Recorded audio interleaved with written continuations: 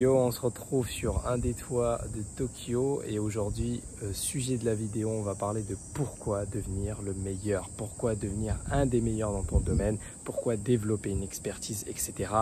Let's go donc juste avant qu'on commence, je te rappelle que tu as un cadeau à aller chercher dans la description. C'est un cadeau qui va te permettre de réussir dans la vie, que ce soit pour euh, que tu développes une confiance en toi, que ce soit pour que tu deviennes le meilleur, que ce soit pour plein de sujets, tu auras besoin de te développer personnellement. Donc là, je t'explique pourquoi se développer. Et maintenant, si tu veux le savoir, le comment, eh ben, il faut que tu ailles chercher ce cadeau qui est dans la description et qui est gratuit, je te le rappelle. ok? Et donc, let's go, on va répondre à la question de pourquoi chercher à devenir continuellement le meilleur. À quoi ça sert au final? À quoi ça sert de vouloir devenir le meilleur? C'est une question qu'on pourrait se poser et tu as raison de te la poser. Là, moi, ma réponse pour ça, c'est tout simplement pour continuer de se développer. Devenir le meilleur, c'est une très bonne façon de continuer à se développer. Et là, tu vas me dire, ok, super, mais ça sert à quoi de se développer? Alors, le truc, c'est que ça sert à plein de choses de se développer. Aujourd'hui, je vais développer avec toi trois choses, mais il faut savoir que nous, on est des êtres humains et l'être humain, il est fait pour évoluer. Toutes les espèces en ce monde évoluent et l'être humain ne fait pas exception à la règle. Alors déjà, pourquoi se développer? La première des choses, c'est que tu auras besoin à un moment donné de ta vie tous les êtres humains ont besoin de quelque chose qui les remplisse de l'intérieur. Ok, tu peux pas te permettre de juste faire un job euh, alimentaire. Ok, j'allais dire un gros mot, mais bon, on va se calmer. Tu peux pas te permettre de faire un job juste alimentaire et ne rien faire d'intéressant à côté de ta vie, d'accord? Alors, tu vas me dire, regarder Netflix, des mangas, des animés, euh, jouer aux jeux vidéo, euh, avoir tout le temps des moments chill. Je vais te dire que non, c'est pas ça la vie. Toi-même, tu le sais que c'est pas euh, en restant cloîtré sur ton canapé à regarder Netflix que c'est comme ça que tu te sens heureux, que c'est comme ça que tu te sens valorisé en tant que personne, que c'est comme ça que tu es fier de toi. On est d'accord tu vois, on est d'accord que c'est pas vraiment ça qui te rend heureux. Peut-être que tu as besoin de ces moments chill, d'accord, ok, il n'y a pas de souci, mais c'est pas ça qui va te remplir de l'intérieur, c'est pas ça qui va faire que tu vas être heureux dans la vie. Donc déjà, pour être heureux dans la vie, une des clés, une des choses, c'est d'avoir quelque chose qui te remplit de l'intérieur, une cause peut-être, ou peut-être un défi, un challenge, ou peut-être quelque chose auquel tu y tiens vraiment. C'est pour ça que tu as besoin de continuellement de te développer. Alors, la première des choses, c'est soit tu as déjà trouvé ce dans quoi tu as envie de te développer, soit tu ne l'as pas encore trouvé et donc tu dois le chercher, mais ça revient au même, tu dois te développer pour être une meilleure personne. Pour être le meilleur, tu as besoin de te développer et euh, pour te développer, tu as besoin de trouver quelque chose qui te plaît vraiment, quelque chose qui est en accord avec toi et qui match avec tes valeurs. Deuxième des choses, le deuxième point positif quand tu te développes, quand tu cherches à devenir le meilleur, c'est que tu développes un ensemble de compétences et d'expertise. Et ça a énormément de valeur, ok?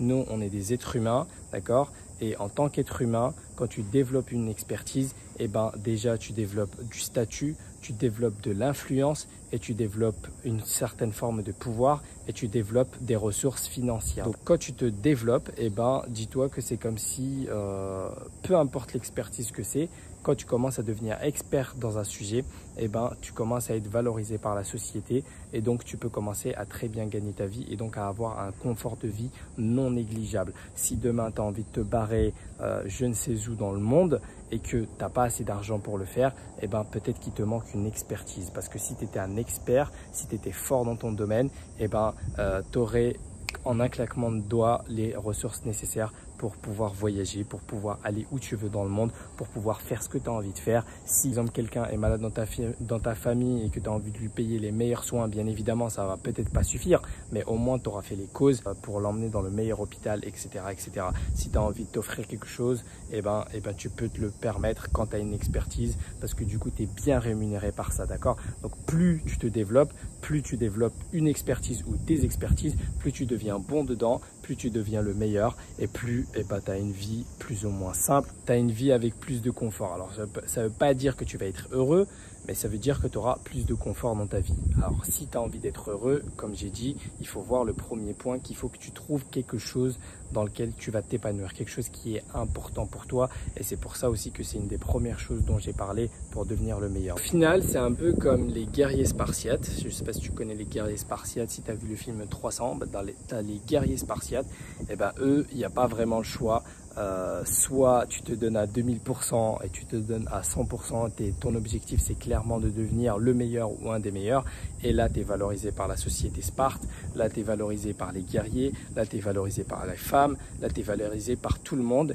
et du coup euh, tu as non seulement de l'influence, mais tu as aussi du pouvoir, mais tu as également euh, des ressources financières, tu as des ressources monétaires et euh, tu es respecté des autres tout simplement.